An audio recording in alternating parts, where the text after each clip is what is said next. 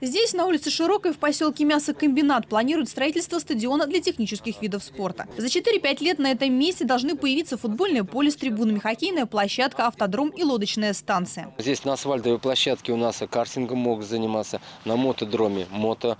На футболе, вы сами понимаете, все легкоатлетические виды спорта могут заниматься. В Калде хоккей, зимой, летом футбол. На воде это байдарки, каноэ и сейчас у нас водные мотоциклы. Возможность появления здесь стадиона и другие проблемы поселка местные жители обсудили на встрече с главой Самары Дмитрием Азаровым. Как отметили сторожилы мясокомбинаты, высшее должностное лицо города посещает эту территорию впервые за всю историю поселка. Дмитрий Азаров уверен, новый стадион даст толчок к развитию поселка. За собой это обязательно потащит там, э, решение вопросов по транспортной доступности, по благоустройству и так далее.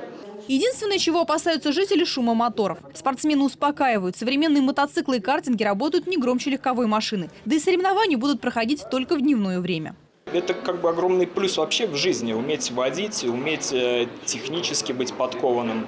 Я очень рад. И очень рад буду тому, что если появится новая трасса, ближайшие трассы поселок Воскресенко, например, то это километров ну, 80 от дома. И сюда мне ну, минут 20-25 езды. Горожане пожаловались мэру и на состояние дорог, которые не выдерживают ежедневного потока фур, следующих на промышленные предприятия поселка.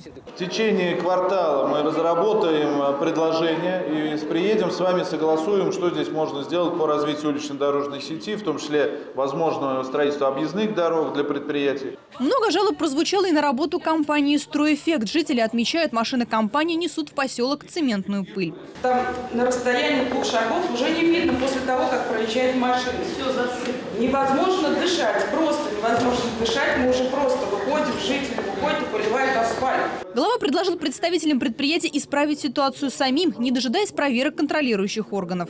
Если это все тащится на территории города и поселка, у нас точно есть э, механизм и правовые основания для применения штрафных санкций. Поэтому лучше это сделать до того, как мы придем к проверке и оштрафуем, а придем мы не одни. Встреча с жителями растянулась на два с половиной часа. Обсудили вопросы медобслуживания, график движения общественного транспорта, патриотическое воспитание молодежи. Все предложения горожан взяты в работу.